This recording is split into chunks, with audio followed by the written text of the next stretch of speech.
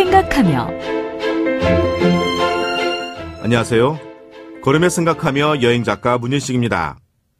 중북 청주에서는 오는 25일부터 27일까지 3일간 청주 야행 밤들이 논이다가라는 테마로 문화재 야행이 열립니다. 문화재 야행의 중심 공간은 청주의 중심이라 할 수 있는 성안길입니다. 말 그대로 청주 읍성이 있던 곳입니다. 이곳은 임진왜란 때 조원과 영규대사의 의승병이 왜군과 전투를 벌여 탈환하기도 했고 영조 때에는 2인자의 난, 조선 마렵에는 김계남이 이끄는 동학농민군이 일본군과 전투를 벌였던 곳이기도 합니다.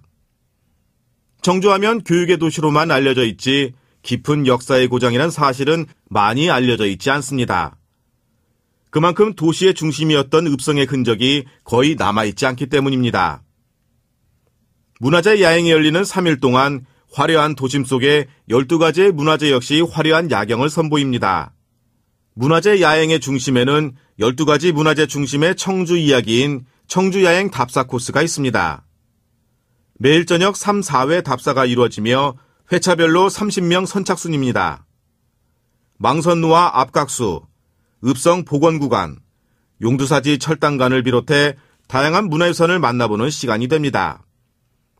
특히 국보 제14호로 지정된 용두사지 철당간에서는 매일 저녁 9시부터 자정까지 하늘을 품다 철당간 라이트쇼가 펼쳐지고 26일, 27일 양일간 저녁 7시 반부터는 용두사지 철당간을 대상으로 문화유산 현장 워크숍도 열립니다. 문화재 야행의 다양한 공연과 전시도 볼만합니다. 청주읍성의 중심이 되는 현 중앙공원에서는 망선루, 충청도 병마절도사 영문, 압각수, 척화비가 곳곳에 남아 있습니다. 각 문화유산을 토대로 스토리텔링 거리극 나무가 들려주는 이야기, 망선루의 국악공연, 청주읍성 등불 만들기 체험 등이 펼쳐집니다. 중북도청에서는 무성영화관 아리랑 별곡, 근대문화의 거리에서는 스토리텔링 거리극 6080 청주 사람들과 옛 청주 장난을 재현하는 행사도 열립니다.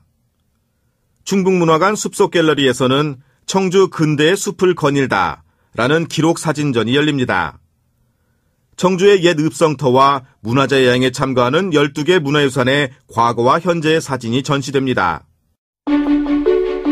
걸으며 생각하며 지금까지 문일식 여행작가였습니다.